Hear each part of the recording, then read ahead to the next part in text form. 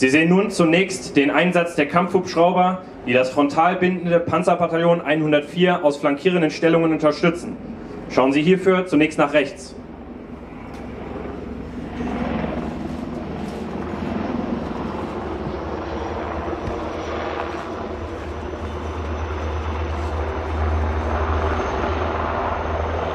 Die Kampfhubschrauber Tiger werden dazu gelenkte Panzerabwehrraketen des Typs HOT gegen gepanzerte und zudem ungelenkte Raketen gegen weiche und halbharte Ziele einsetzen. Die Weichziele, die der Kampfhubschrauber bekämpfen wird, sehen Sie vor sich eine Handbreit links vom Bunker auf dem Tutenberg. Dort befindet sich ein Höhenrücken, genannt Staffelberg. Auf dem Südhang können Sie mit dem Fernglas den Feind in Stellung erkennen.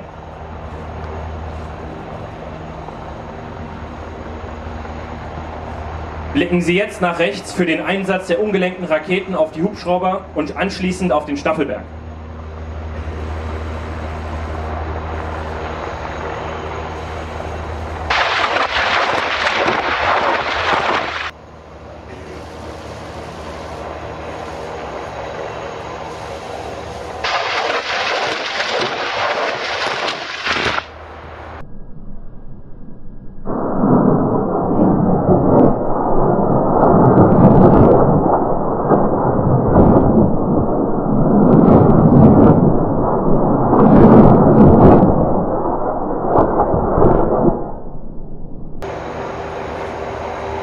Die Kampfhubschrauber haben ihre Ziele erfolgreich bekämpft und vernichtet und beziehen in der Folge nun Wechselstellung.